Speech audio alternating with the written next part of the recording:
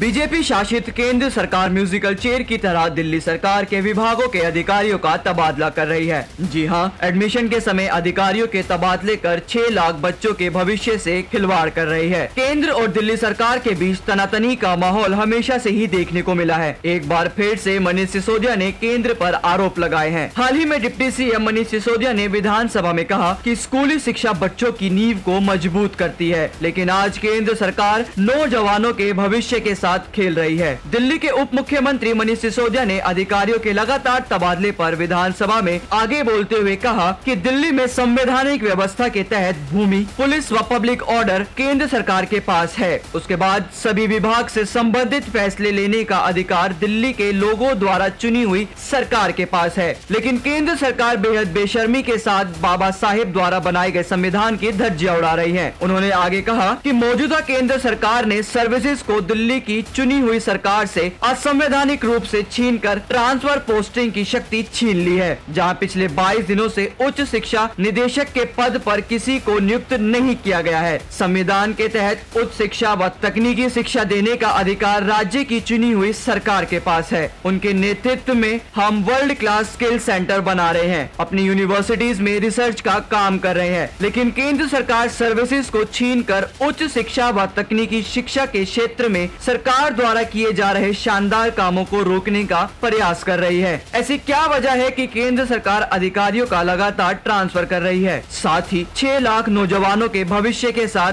खेल रही है। अब देखना यह है कि क्या मनीष सिसोदिया ने जो केंद्र के ऊपर आरोप लगाए हैं, वो कितने सही हैं और कितने गलत हैं। आगे की खबरों के लिए देखते रहिए देशित न्यूज़। धन्यवाद।